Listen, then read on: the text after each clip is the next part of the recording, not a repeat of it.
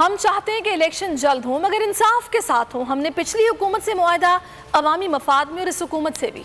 कराची में कराची में law and order की सूरत हाल इंतहाई ख़राब है। एम क्यू एम रहनुमा खालिद मकबूल सिद्दीकी ने अपनी ही इतिहादी हुकूमत को खरी खरी सुना दी, कहा, सूबाई और विफाकी हुकूमत को शहर की अम से कोई सरोकार नहीं। जराइम पेशा अफराद दंदनाते फिर रहे हैं। ताजिर, मजदूर, सनतकार सब अपनी हिफाजत का बंदोबस्त खुद करें। अगर आपको ये वीडियो पसंद आई तो लाइक पर क्लिक कीजिए।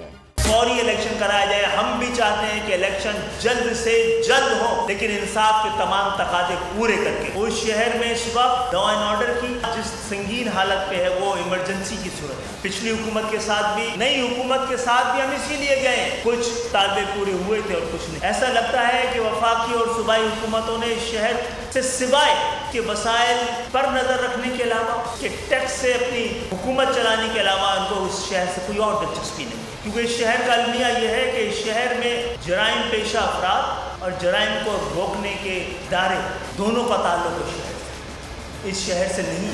सबसे ज़्यादा व्यूज़ सबसे ज़्यादा रील्स और सबसे ज़्यादा रेटिंग के साथ बोल अब भी नंबर वन पोजीशन पर बरकरार। सब्सक्राइब करें और बेल दबाएँ ताकि कोई खबर रह न जाए।